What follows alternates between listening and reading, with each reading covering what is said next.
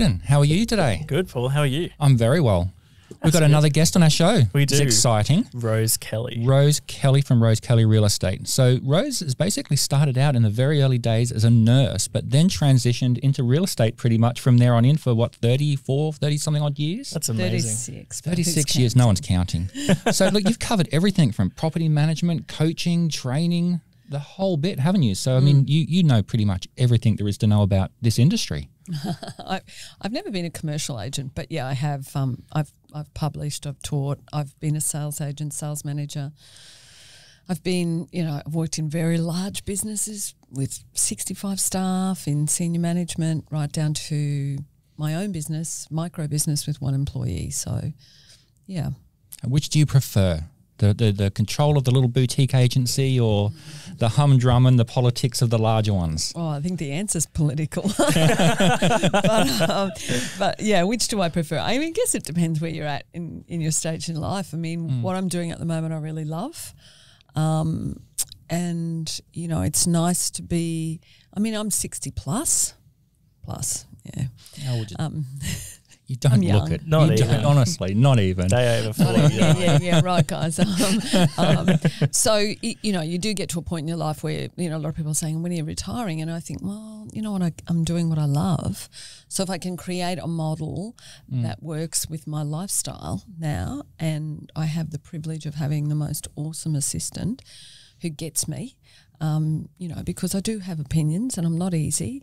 And um, we were just we were just laughing this morning. Sinead and I were on the phone, and she's saying, "Calm down." And my husband was giggling in the background, and I'm like, "What are you laughing at?" He said, "I just love the way she handles you." Wow, that's that's a good partnership That's to awesome. have, isn't it? Yeah, It's like gold. any business owner, you can be that train on those tracks, and you're just going for it. And every now and again, you need someone to go. You know what? Let's just pull over this way a little bit. Yeah, yeah, yeah. yeah. What's for a sec? No, that's lovely. She And I- I'm- has she has permission. she's let's got say. permission. Yes.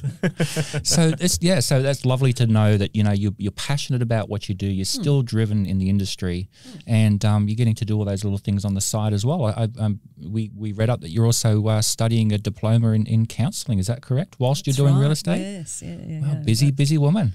Yeah, well, it's self paced. So um, they say it can take up to two years. But of course, me being me, I'm saying I can do it in 12 It's a months. challenge. But, um, yeah, it's distance learning. So, you know, it's, it's um, and there's written and a practical component. So, yeah, I'm really enjoying it and just developing my communication skills to a whole new level. I hope. So, so counselling, obviously, you know, it, it, it well, you could say it kind of goes hand in hand with real estate because you're dealing with a lot of people, Mm. and being able to understand the situation and, and their, you know, their purpose and process is, Mm. would be important to have, you know, some of that skill behind you to Mm. uh, implement. I think I think a lot of people think that counsellors are therapists and advisors, but in the truest sense, um, you know, client-centered approach to counselling is is actually really deep communication, Yep. um, deep listening, deep reflection, um, and you know, I, I work on the basis that when people have a house to sell or want to buy or have a real estate need, it's usually a problem to be solved. Yeah. And, um, you know, it's just how do we sit down and maneuver the best process for them, the best timeline, the best outcome. And, and it's very individual, very individual, um, uh, particularly residential housing. I mean, uh, you know, residential property, generally, when I go into a property, what I'm confronted with or what I meet is an autobiographical statement of someone's life. Yeah. And, and we don't take that lightly, you know. Um, and, and how do we help somebody unpack that and be ready to pass it on to the next person in a way that the next person's going to engage with it and love it and pay them a really good price? Absolutely. I love that. Well, you know, so I mean, if you think about behind the scenes, Jaden, you know, as a Yeah. real estate agent, you are going into very unique situations. So in a mm. way, you know, real estate agents are traditionally counsellors. Like there's lots mm. of things happening, life changes, you know, and quite often, I don't know about you, Rose, but you might have some people almost crying on your shoulder, just opening up in ways you wouldn't think about. You have no idea what I have experienced in my real estate career. And my daughters tell me all the time, Mum, write the book, write the book. I have seen every life event um, happen and every pain and every joy and every, and I, I mean, I love people and I love working with people and I love sharing people's journeys and uh, and and of course the the great thing about what I'm doing now is that I'm working with people that I've worked with for 10 and 15 years you know I recently did the tenth sale for a couple. That's Wow. amazing. That's Um, amazing. Yeah, but but regularly meet. You know, another one I did the third sale for a family. So each member of the family, I've I've sold a property for. So, you, you know, you you become part of the whole journey of the family. It's it's quite a treasure. It's Well, quite that's a testament, obviously, to the way that you run, you know, your business. Having people come back to you time and time again is just proof right there that you know you're a trusting and, and a very sort of uh, well, you know, well tuned to their needs. It's amazing that you know, that not a lot of you know, obviously in real estate, you, that repeat business isn't always a thing, is it? But it's it's when you do it right, it's it's Yeah. definitely a, a gauge on how well you're doing in the I like, industry. yeah, I would like to think so. The other thing about my business, from that perspective, often Mm. when you sell somebody's house, they'll move three or four suburbs away, and you know maybe lose touch as a, as a traditional agent. Although you mightn't want to, you become very focused on your own area. The most common question I am asked in my business is, "What area do you cover? Where, where are you located?" And my answer to that is that I'm not a geographical agent, and, and you would have heard me say that. Yep, We've had yep. conversations. Yes, we around have, This, yes. Yeah. Um, I'm a relationship agent, so my abilities to work with people and you know at a deep level and to you know to to switch on my real estate skills and nuance that back into their situational problem or need transcends geographical boundaries. Now, I'm not so stupid to say I'm going to list your house at um, Coomera or Mm. I, don't, I mean, it is it is reasonably Yeah. limited to the north side of Brisbane, but but interestingly, people and families do live in enclaves. You know, so um, in, in the last six months, I have sold from Deception Bay to Hendra Wow. you know, and That's a a whole big range pocket. of yeah, it's not a pocket. Yeah, it's not a pocket. It's a it's a it's people. It's Yeah. people, and and ninety percent of people, um, you know, people we're selling to, t- selling for, I should say, are people who are connected in some way to somebody that we've worked with before, or people we meet on the journey.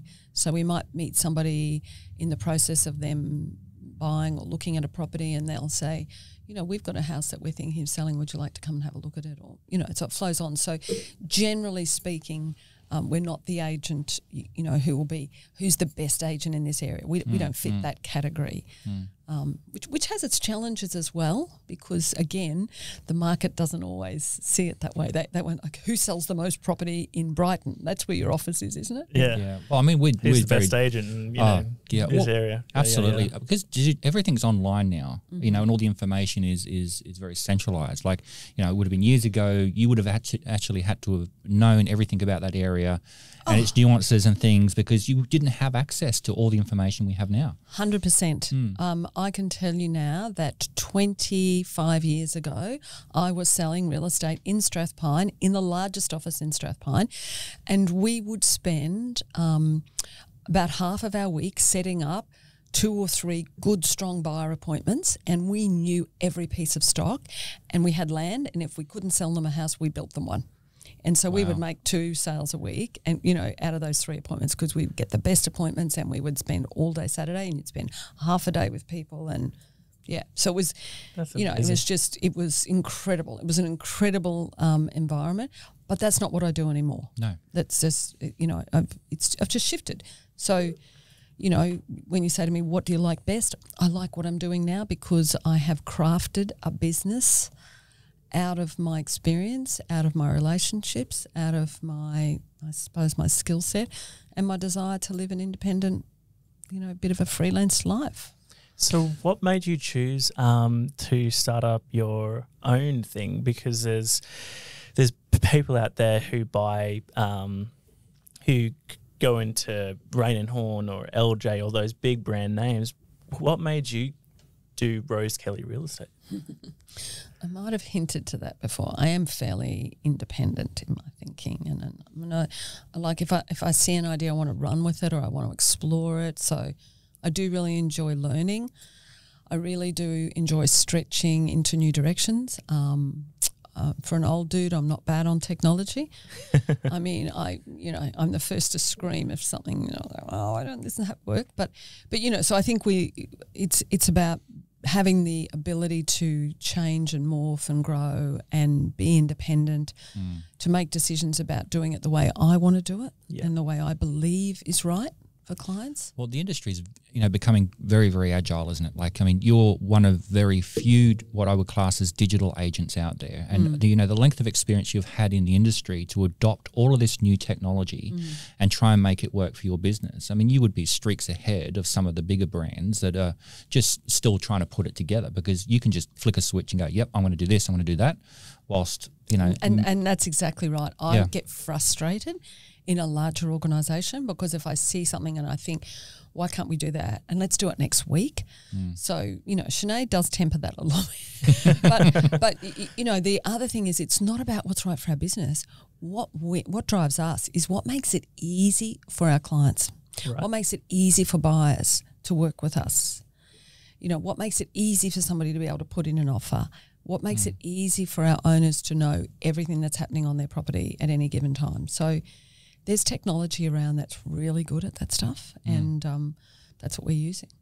So I mean, so I mean, there's a lot out there. Okay, so one of the things I've noticed with with your brand is that you're a very nurturing brand. You know, it's not just yep, met that person, we're done. You take them down, and you've got lots of information that you hand out to buyers and vendors along the way to help them with that whole process. Like it's not it's not simple anymore, is it? You have a massive process. Mm, massive process, and um, and still developing that. You know, mm. we are still writing, still developing, still working on. You know, we, we just this year have taken the time to develop a whole range of digital tools around buyer information kits, seller information kits, checklists for this point, checklists mm. for that point, that we can give people. You know, mm. how do you get the your property to present the best? How do you you know? There's a whole range of things that we provide, and we and we're constantly developing that that material and content, and then digitizing it so it's really easy to get out to people quickly, mm. and and different material needs to be presented in different channels and different ways. It's not cookie So- cutter, is it? it's not cookie cutter No. and and you know i need to produce material that you know we know 65% of our buyers and sellers prefer to use a mobile phone to a pc you know mm. whereas it was about 30% on a pc and maybe 10% on a, on an ipad. So mm. and those, they seem to be fairly consistent. Mm. So if 60% of people are using a phone and somebody sends me something on a phone that i can't see properly or can't use ouch Yeah, Yeah. you've got to take those roadblocks away. Buyers are very, very time poor, aren't they? They need to know the information and, and be able to access it as easily as possible. So on that as well, I mean, you, you did touch a little bit there on, um, you know, obviously presenting homes and getting them ready. Um, you'll be one of very few agents that um, we've noticed over the years that put in that amount of effort. Like it's because you you don't do large volumes of sales. It's No, no. kind of not your thing. It's No. more very very individualized, and you're going to put everything on the line to make that work. Yeah. So I mean, you said that we're nurturing. So we we uh, like we take the process to the max. Um, we sell a we list a small volume, but we sell hundred percent of what we list, and we do it with five star ratings. So to do that, we have to put attention to every cushion, every every everything, and and it's a bit of a fine line because we don't want to overwhelm people as well. Some people will say, "Listen, you know, Rose, that's all great." but this is my house. This is the best I can do. So I just say, let me do a little bit better. Yep. So our our um, go to market experience is quite an experience that we micromanage ourselves. Sinead and I would spend a whole day at the property on production day. So it's not just coming somebody's taking photos or it's a whole day and we would be there at like 8:39 in the morning and probably leave about 4 4:30 in the afternoon Wow, that's massive. and that's um that means yeah we in fact my husband will watch this at some point and he'll go yeah we have this wonderful big three bay shed that was designed it was meant to be the man cave half of it He's lost it. half of it Yeah. is, is the styling products Yeah. and um, the cushions. I mean, this, you know, Yeah. I, I met a lady recently, you love this. I met a lady recently, she said, I've been living on a boat for the last 20 years. She's, and now we're back and, and we've docked and we want to buy a unit. And I was showing her around some units and it was a couple set up as display units. And she said, I need to ask you something. There's a phenomena that's appeared since we moved onto our boat, and, and I've noticed it It's pillows. and I went, Yeah. She said, Tell me, all these pillows that people put on beds, do they take them all off at night and put them back or, or back on it every morning? And I went, Yeah, pretty much. Yeah, pretty much. Ask my husband. so I oh, was you've got a collection of pillows if the I shed's bet. almost half full. Yeah, yeah. I would, So, I would so love to we've see got the this. pillow collection. So people say to me, "Oh, we haven't got a nice bed here." Don't worry, we'll zhush it up with pillows. Pillows, Shush. bring in the pillows. We're bringing the pillows. yeah, it comes- we backed the car, and honestly, we had to go and get a big four wheel drive that I could put the seats down to fit the pillows in. Oh, Oh my bloody yeah, goodness. yeah, of course. I have to ask Rose, why why spend so much time on that process? Like, because I've I've talked with, with agents who um, who who don't spend that kind of time. It's always about it needs t- to be on. Th- needs to be listed as soon as it's almost signed. Oh yeah, yeah. There's Do you a, know what I mean? Like, why? there's a spend that movement time? afoot. There's a movement afoot. Tell us about it. Would love to hear it. Oh boy. Um, so so there's a there's a thing that agents are calling the off market experience, which which really does my head in, and I'm like, it's either on the market or it's off the If market. you're selling, you're selling. And, and and if it's if I get a signed appointment, the property is on the market. But then you know I'm I'm saying hearing people say to me, we can get it out to buyers within 30 seconds of it being you know because we we now you know I'll just I'll just share with you. I sat down. Um, um, sorry, I've jumped the gun, but I'm going to come back and answer that. Yep. I sat down with some people to list their house earlier this week, and they are friends of mine. They're dear friends of mine. So I try to shatter the myth that you shouldn't do business with friends and family because that's pretty much if they're not friends when they start, they're friends when we finish. Um, so. You know, she said to me, "Couldn't we just spend the money on the photos and then you put it out to your buyer list?" And I said, "Yeah, we could do that." But here's the thing: you're coming to my place for Christmas lunch this year. I'm not going to feel comfortable having champagne with you unless I know that when we walk away from this transaction, we have maxed it, not just done it. yeah. Because you're more important to me than that. She went, okay, that's cool. Let's do it. Yep. So there's that element. You know, Yeah. we we, um, uh, you know, I'm I'm obsessive about maxing it. You know, so. Uh, and I don't mean to overwhelm people with that idea because it's just something that I, I feel very passionate. I I have a deep, deep sense of the role of an agent, a deep understanding of the role of an agent, and it is the seller's advocate. So I should be doing things for the seller that they can't, don't want to, or don't you know don't have the knowledge, skill, or inclination or motivation to do for themselves. So that means zhushing it up with pillows or moving the furniture around. Um, and and you know the you you do our videos, so you came to a property this week, and the living area looked so big and spacious. It was and gorgeous. when I went to that property at eight thirty in the morning, the the owners had arranged the furniture uh, how they thought, and I said to them now. What I want to say to you is it's probably better that you disappear or don't take any notice of us for the next few hours. Yeah. Is that Just okay? look away. and she said, "Yeah, that's okay." I said, "Because I'm going to play here," and and we. I didn't know what I was going to do till we really got there and went, okay, there's actually a piece of furniture that we don't need. She said, well, we don't need it either. In fact, it's going to the tip. And I said, let's tip it now. And there's a piece of footage that Sinead took and put Yeah. on Instagram of us tipping it over the balcony. But, you know, we, we were able to completely change that around. And, Yeah. and, and the one that you're coming to next week, um, I, I've, I've got an agreement already in place of what we're going to move out of that family room to really showcase this room and showcase this house. So Yeah. um, now, the, on the other side of that coin, the thing that we constantly hear from buyers is thank you. I'm like, what do you mean? When we come to your properties, they're true. So I don't think we're overstating anything. I don't think we're overrating what's there. It's about, you know, eh, how to take a piece of real estate and really optimize it without misleading. That's right, hundred Yeah. percent. Yeah, it's again, it's all about emotion, isn't it? I mean, people, um, you know, buyers are, are very emotional beasts, aren't they? So when they when it resonates with them and they want to see it, they'll turn up and go, "Oh, this is for me," you know, and and that preparation pays dividends, 100%, doesn't yeah. it? Hundred percent. What I love about what you do with your styling or your preparation is it's not like you take it all out and then just bring in all new stuff. You leave little nuances of the the, the current owners, like that house which we which we shot on on um on my Monday, you left. Uh, was it The like a sideboard. sideboard? And it was like, and it was old, and it matched the house. Yep. But it it but it still worked. It, like, and it really brought this warm emotional feel. So Yep. it's not like it's it's like it's out like out with the old and in with Yep. with the So the sideboard stayed. Something else went over the balcony. That's yeah, right. yeah, yeah, yeah. and and and you know, it was um, it was uh, it, it was a beautiful house with a lot of memories, and and we wanted to pay some homage to that, if you like, and um, but also I. You know, I think people go, yeah, great. I hear about staging, I know about styling, but it costs money and I don't have a budget for that.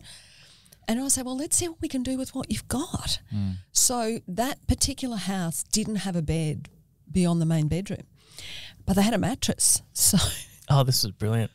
so they actually, I said, you know what? I'm going to say. No, Ordinarily, I'd just say, okay, we'll work with it. We'll get it virtually styled, or we'll do something. You know, we'll put some pictures in there of a bed.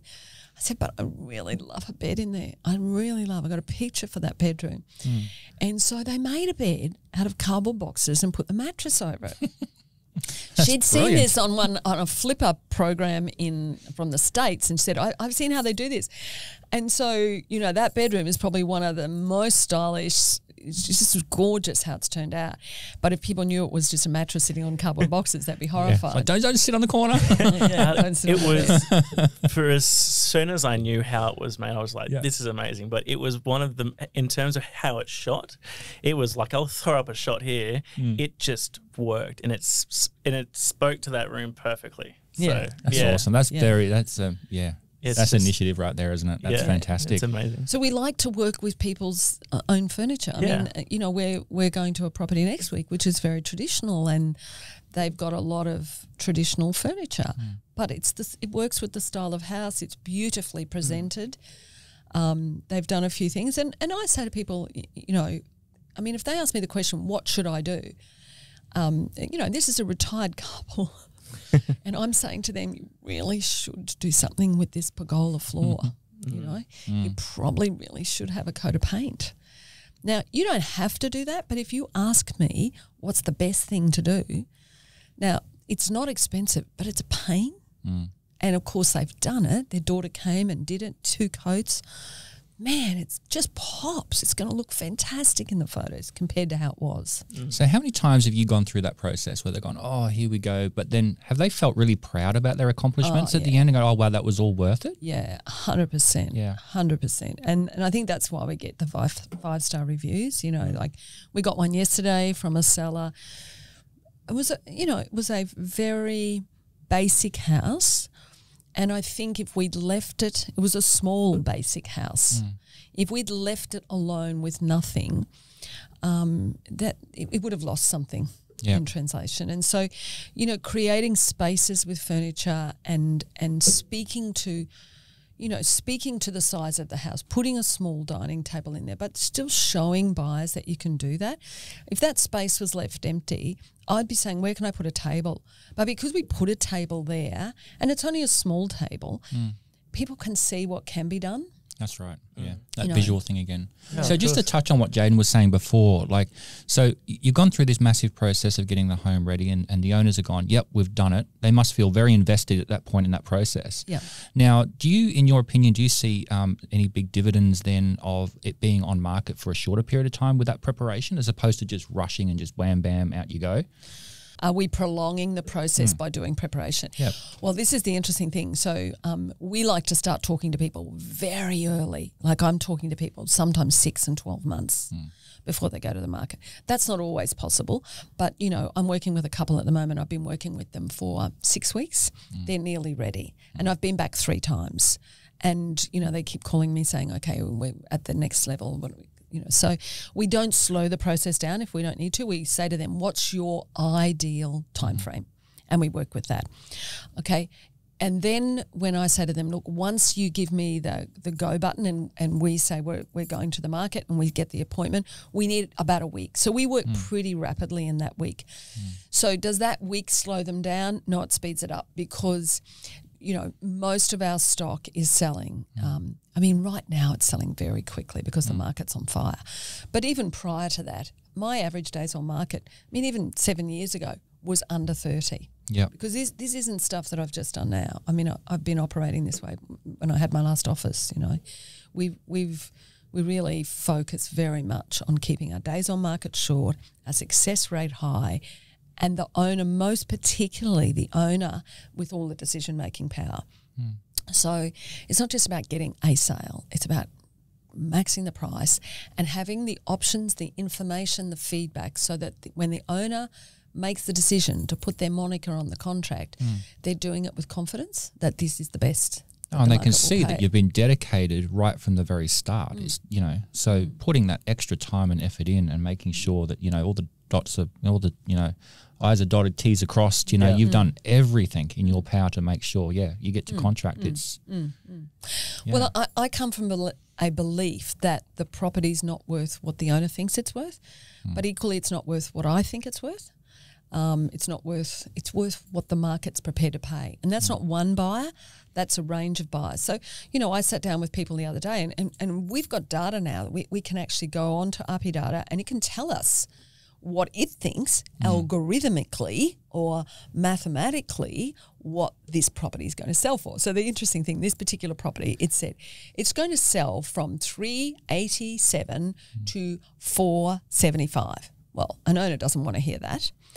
So mm, Lisa, she goes, "Oh my god, we're not selling it for 387." But I said to her, the chances of you selling it for 387 are exactly the same as the chances of you selling it for 475. Probably not going to happen. But let's look at where the algorithm says it's most likely to sell. Hmm. And so, you know, we narrowed that down and said, with high confidence, it's going to sell in this range. Hmm. And I went, yeah, yeah, okay, we're comfortable with that. So then we look at, you know, again, there's a process that we go to, and I won't go into it here, but about how we communicate the seller's expectations to the market. Because again, you know, there's, a, I think, in, in this market, there's a fair competition from buyers, and we don't want to undersell something. Mm. So it's really important that we have a strategy around that. And I mean, you know, there's there's a quite a common strategy emerging in the market where we won't put a price on it. So, you know, that is the surest way to annoy buyers, no price on a property. And I'm sure for all the buyers listening today, they would say that is the one thing that annoys them the most. So I say to sellers, so, you know, I, I can put your property on the market with no price, and there are plenty of agents who will come in and say to you, that's the best way to go. But we've done all this work. We have mm. strategized about marketing. We've got the cushions. We've got the mm-hmm. the doonas. We've got the thing. We've got the videographer. We've got the music. We've got the whole thing, and and and it's beautiful. Do we want a buyer to walk in the door going, "Here we go again, another bloody agent who won't put the price on it"? Not at all. We want not an ounce of negativity, not one ounce, because that's going to start diluting what we've put all the effort into. So we have to give the buyers an indication, and it can be just an indication, but we have to give them something, and that's my rationale. Yeah, well, I mean, there's yeah, there's definitely two schools of thought on on that, but uh, yeah, I mean, I'm I'm buying, and at the moment in my area, I think probably five out of six or seven homes have no price. So where, where do you start as a buyer? How do you know? I mean, you've got to go on and do all the research yourself, don't you? And as you know, there's not very many platforms out there that can mm. give you an accurate idea. You've got the banks mm. that are offering mm. appraisals and pricing, but you know mm-hmm. that take that with a pinch of salt. That doesn't necessarily always work. Well, the banks. So people say to me, "Oh, bank valuation was this," and I'm like, "Hang on a second. The bank is in the business of selling money, so they either have lots to sell, hmm. right, or they don't have much to sell, and they will vary their agenda, their motive, their valuation based on that. They are a party in the transaction, and they're selling money. You're buying it, so don't think the bank's on your side. Hmm. Hmm. That's a very good point. And, and in fact, they'll be very loose with their valuation once their debt to, to valuation ratio. If there's more than 20% equity in the deal, they don't really care. They'll do a desktop valuation anyway. So the bank is the last person that we would take any credence from. Sorry, banks, but that's just the reality. that's how it is. That's Absolutely. how it is. They're in the business of selling money. Great, great at doing mm. that. And right now they're selling it really cheaply, which is put, you know putting added pressure on the market. But you know, for the first time in my real estate, my, my life, my you know, I've never seen anything like what's happening at the moment. That's and, and that's thirty odd years. Yeah. this is the years. first time for you. That's amazing. All right, Just well- goes to show what uh, what the market's doing. We might take a quick break, um, and we, we, we'll be back, and we'll talk about um, what is happening at the moment in the, the current market, and um, and more Yep. things with Rose. Absolutely. Thanks. Right, back soon. Guys.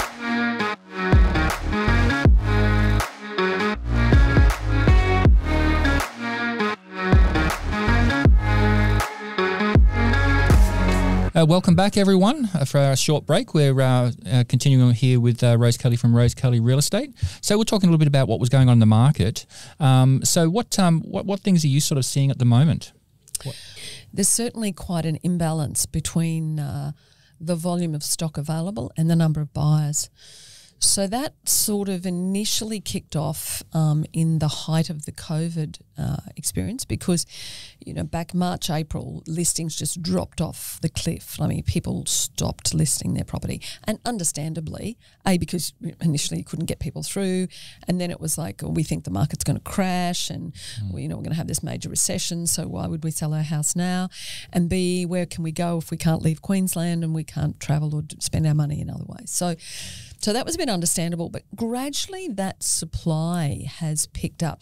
Perhaps not to pre COVID levels, but, but there's certainly been an increase in supply. But what has changed is the volume of buyers in the market and always driven by external factors and, and interest rates. So it's um you, you know we've seen it get stronger and stronger and stronger. So you know with banks announcing a three year fixed rate at one point nine nine percent. That's just historic, isn't it? It's amazing. It's, it's well, it- it's quite unbelievable. I'm meeting people now in their fifties, um, you know, late fifties, saying I am a first home buyer. Wow. That is so cool. wow. It's like you know because I'm I'm always always going for the backstory. It's like, so have you been looking for a while? Oh, we've been waiting for ten years for this moment. That's another comment.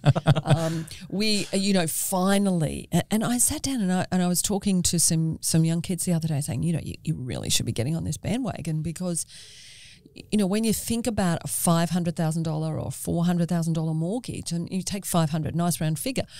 I mean, the interest on that is going to be around two hundred dollars a month. It's nothing. No, hang on, two hundred dollars a week. Two hundred dollars a week. So if I'm paying five hundred in rent, I can take that three hundred and pay it off the principal, mm-hmm. in addition to anything else that I can find to pay off my principal. So you know that's that's incredible, and and that's just you know people will say, oh, interest is dead money, rents. Well, de- the, No, rent is, yeah. when you weigh up the rent versus interest, Mm-hmm. if the if the rent is two and a half times the interest, it's a no brainer, isn't it? Absolutely no brainer. Yeah. There you go, Jane. There's another one for you. Yes, That's two in a row. You better hop to it. I know, right? I still have to keep saving that. My husband and I, I are um, uh, planning to, to buy a house, but but but we're just not sure, you know, about you know, do you buy a house because you know the, the, the amount of coin that is needed to to actually get that loan and then all, all like do you, uh, do you, do you do stocks or you do, do you do this you do that you know what I mean? So it's just Jaden. yeah Here we go. You're being schooled, mate. okay Just slow down. yeah Okay. I'm just going to ask you, where do you think property prices are going to be when you finish that decision making? probably not where they are now so, you know, if we are getting 8, 10, 12, 15, 20 offers on a property, that's not inquiry, that's not inspections, that's offers. right Okay. And we're meeting people who are saying, I'm going to jump on this because, and I'm probably going to pay a bit more than what I should because I've missed out on the last six that I've gone for. Um, you know, I don't know if you can save fast enough to get ahead of that ball. yeah It's a it's a ball that's running down a hill, and you're gonna you're saying, you know, when it gets to the bottom, we're going to be in front of it. When you better be able to run real fast. yeah. Do you get what I'm saying? Yeah, th- So, that's a really good point. I'm, I'm not going to tell you when to buy, you know, because I have the same conversation with my children and, you know, and their friends and and not everybody's in a position, but you know, the government is offering and has really opened up the number of packages available now on that first homeowner um, supplement scheme, where they are, you know, five percent deposit and then they're giving the equity up to twenty, the, the equity guarantee up to twenty percent which which avoids loan mortgage insurance and um, and it gives some sort of um, guarantee. But you know, look, everybody's got a different story, and it is challenging for people when you know, maybe their income is maybe a bit questionable or their job security, those sorts of things. But I would say um, one of the things that, you know, probably there's a few things when it comes to buying is just make sure that you don't do things that are going to make you non-competitive or put you out of the picture. So some people say, well, we'll go and buy a new car first, so that's done, and then when we move into the house, we've got the new car. But all of a sudden, they've got car payments, and that wrecks their credit ability or their loan ability, you know, and or we'll do this or we'll change jobs or we'll, you know, what banks want to see is boring, old savings history, mm-hmm. a lump of money in the bank, and no other debt. That's it. So you know, then you're in. Then you're in. Yeah. And get yeah, in. That's some great advice for first home buyers or people like myself who are who want to buy a house but don't really know the, the mm. process and what to do right. Oh, Jaden, we've got a great little. Um, I'll get Sinead to send it to you when we're finished. Yeah. Um, the twelve essential steps for buying your first home. Oh, perfect. We'll send it to you. It's our little checklist, a little yeah. digital tool we, we give people. Can, can you brush over that on the podcast okay. briefly? Oh, now I have to remember it. But it's things like just make sure that your credit history is good. Yeah. Um, so, you know, you get go and do a credit check on yourself, each other. You know, it's a bit like when you, you meet somebody. Sometimes they say, "Go and have a blood test." Well, have a credit check. you know, um, tested, anyway, we Jaden. won't go there. We won't go there. But um, you know, be careful who you sleep with. That's what I say to people because uh, we usually meet them on the other side when they're getting divorced, and it's really painful and really expensive. So be careful who you sleep with. Um, but let's just um, let's just uh, moving right along. We we um, just make sure that your credit check is credit history is right, and that might be through no fault of your own. We we met a couple last year, painful story, but they fell in love with this house and wanted to buy it, and they were in a new relationship, and he had good income, she had some deposit because she had another house, so they put it together and went great. We're going to buy the family home. Everything was good. Did the finance application, was all good to go, and the broker did the credit check, and he said, you know, mate, you've got a credit history, and he goes, what do you mean? And so she starts looking at him like, oh, God. What you have know, you done? you know, you've done something in your past you didn't tell me about. It was identity fraud. Oh, my goodness. So somebody had used his identity and taken a mobile phone account and breached, you know, like had, had um, dishonored that uh, agreement and had a credit history and it's so difficult to clear a credit history now, mm. even oh for a God. small amount of money. And it was like a few thousand or whatever it was. It was nothing much. So he had to go through this whole process of A, proving it wasn't him, getting police involved, getting. But the company who now manage credit referencing in Australia has been bought out by a multinational. So they were not just dealing with this, but they're dealing with an international company. And then it's like, what are their laws? And all I just want to do is buy a little house in Bracken Ridge, oh, five hundred and fifty thousand. Oh, what a poor couple and a little family. Yeah, yeah, yeah, yeah. To jump so, through. so they. So that was one step. You know, that's yeah. one thing. Um, and just make sure that your your bank statements are clean and clear, and they match what you earn. And um, you know, my daughter should probably kill me for saying this, but she had an application in for a. Um, it was a, a sort of like a scholarship thing for for uni, and she was granted this scholarship, but it was based on you know, needs But You know, they were they did um, they looked at. She had to submit three months of her bank statement. She goes, "Oh my God, mum, they're going to see Dan Murphy's, Dan Murphy's, Dan Murphy's." I said, "Yeah, but that's pretty probably pretty stock standard for students, so that's going to be okay." Yeah, know, I don't think that's too different. Yeah. So, so she she won this scholarship, you know, based on, um, you know, I'm a poor student. But then she said to me, because she's always thinking, she goes, "So you know, mum, if I was actually going for a home loan, now I'm not actually suggesting this, and you may not choose to publish this, but I'd probably run dual accounts. Make sure you, you, yes, I'm all perfect. Yeah, just hide that one over there. so, but, put but all the, the Ubers and story, Netflixes on that one.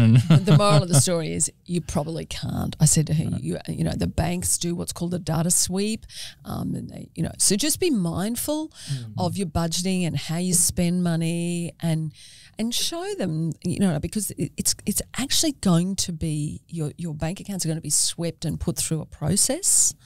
so that you know you, you do need to prep. You do need to prep for six to twelve months and understand they're going to go through three months bank statements. And if you say to them, "I don't have a credit card," and there's um, you know a, a payment to to you know GE or whatever. I don't know some Visa card somewhere uh, every month. They're going to say, "Hang on a second, you know." So, so your preparation, your savings history, stability of your employment, make sure you're out of probation, all those things. Eliminate all of your small repayments because they impact dramatically on your uh, your ability. Um, so that's the finance side, and then it's about you know what do we want in a house. So, I think you should start with what do you need in a house. Yeah. Yeah, yeah, oh, that's the base. And then what do we want? And then what's our dream? Okay. You're probably not going to get all of it. Okay. And you probably don't know what you're prepared to compromise on until you start looking. Yeah. Okay. So, you know, then it start then it begs the question, do we start looking before we're really ready? Because you're likely to fall in love with something before you're ready. Mm-hmm. Okay. So my sense would be to just, you know, decide the levels of looking. So you might start looking online and you might do your research online and then as you're getting closer to getting ready, then you start actually walking through property because properties will grab you and talk to you and they'll say, pick me, pick me, pick me. And you'll go, oh my gosh, this is our dream home, but we're not quite ready. And then there's this whole emotion. You don't want it to be stressful. No. Okay, so get really well prepared. And if you want to get really well prepared, get a pre approval in place. So, you know, the people who, who come to us who are knowledgeable about the market, they know what they want, what they need, what they can afford. They've got the pre approval, they've narrowed it down to suburbs, they've gone out, they've done their homework online, been to open houses. They, they, you know, then you're making yourself really competitive and, mm. and in a position to make an offer Yeah. when the right thing comes along. Of Yeah. course. Thank wow. you, Rose. Look, That- that's Rose that's- Kelly right there. That's absolute gold. so That's, that, that came out of one small checklist of many things that she's got to offer. Yeah. How do you feel, Jaden? I feel enlightened. I'm so excited now. I'm gonna go home now and say, "Now, look, babe, we have to watch this part of the podcast. Yep. go That's sit it. down here. with- Yeah. I'll Well, that- send, that you, just- send you the checklist. yes. We'll Yeah. send you Yes. the checklist. Thank you, Rose. That's So awesome. that um, you know, I mean, we've been talking now for a few minutes, or well, well 20, 30 minutes now, right? So that you know, we, we're talking about your your motto, real estate with heart, and that's a prime example there of what Rose does in her day to day life, just helping individual people through an individual situation. yeah. That's amazing, absolutely amazing. That's what we do. That's what we do. And you know, you bring me a, ro- a real estate problem, and people ring me all the time and say, "Oh, yeah, I've got a friend. They don't know whether they should renovate or sell." And I'll go around and say, "You know what? If I was here, I'd stay here. I'd renovate. This is what I do. I'd knock that wall down." I was at this house yesterday showing it, and I'm like, "They said it's a bit of a rabbit warren." Is I said, "Yeah, but let me show you. I reckon this is what you could do." I've already got it planned. It is a rabbit warren because you have to walk around almost through the bathroom to get to the laundry in the bedroom because it's been built in underneath. But if you took this section of the wall out and closed the bathroom off there, and all of a sudden, because the, the parents want to buy the house, but they mm. said the toughest critic will be the son, but he's going to live downstairs. So we walked outside and they said to the son, So what do you think? And he went, Thumbs up. And they went, oh my God. and they'd raced home. They'd raced home before he changed his mind and put in an offer. Yeah. Problem solved. Wow. Tick. That's so, cool. Yeah, Yeah. it is really cool. So we, uh, but a lot of that comes from experience. I mean, I can look at a floor plan and say, you know, I mean, even the house that we've just done ourselves, my husband said, oh my God. It's the first house we've done together. And he said, when we walked in, I thought, what is she thinking? Mm. But all he saw was the shed. So he was happy to go along with it. And then he went, I never in my wildest dreams could have imagined what you saw in that property. There you go. So, yeah. You've been there so many times. There's probably no situation that you probably have not experienced. Don't think so. No. But you know, constantly learn. Everybody's different. It's the combinations that come together. You know that that I mean, there's, there's still challenges. There's still should we do a building and pest on this before we sell? Should we take this property to auction? Should we hmm. list this with this price? Or you know, like it- you're taking everything into account. You are really gathering all the information. And I suppose that's where the counselling skills come in because with deep communication skills, I want people to trust me, tell me the whole story because hmm. when I know the whole story, I can give them the best solution.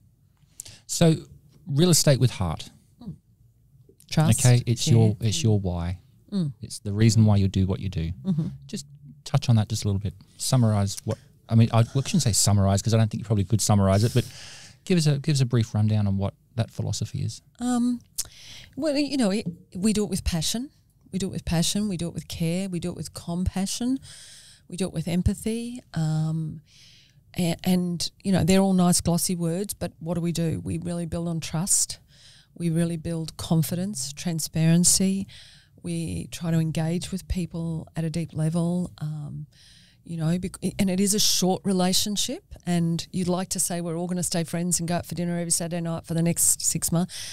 I mean, that's not life. That that's you know, it is it is a commercial transaction, but it is one where we want to bring something very special to that transaction, and we do. And uh, you know, that's certainly the feedback that we get and the feeling that we get.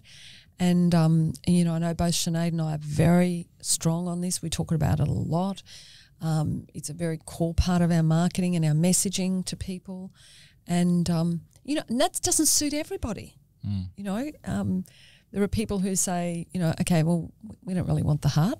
We just want to get in, get out, and do the deal, and that's okay. That's. We don't want all the business either. No, but I mean, you've had what ten sales of the same couple, and you've had what repeat business now three times over. So, you know, you're banking some really good feelings there. I think. Yeah, yeah, yeah. That's that's what it's about, it, and we don't do it. You know, you know, it's not. We're not flippant about it. You know, we mm. are really. It is our core message that we really do care, and we really deeply understand the role of an agent at, at at a legal, ethical, moral, and compassionate level. And we are the client's advocate, and we take it seriously. Wow. Absolute gold. Well, thank you so much, Rose. I think we're going to end it there because Yeah. that was just that was the pinnacle. I think of the whole podcast. You need to end it because I can just talk all day, and I've got appointments. We'll put this bit at the beginning because Yeah. it was absolute gold. Thank you so much for coming No, it's down, been my Rose. It's been pleasure. excellent. You know, I'm- I'm- you I hope you enjoyed it. I did, I did, and I um, thank you for the opportunity That's to okay. to be on on your real estate raw. Yes, you and I don't think it'll be the The last, last one? time No, I think yeah, this was exciting. Yes, I think Yep, expect another to love- invitation, or Sinead's going to be going. All right, she's booking in another one. All right, thank you very much for listening, and um, yeah, Thanks, stay guys. tuned. Cheers. Good Bye. on you. Have a great day.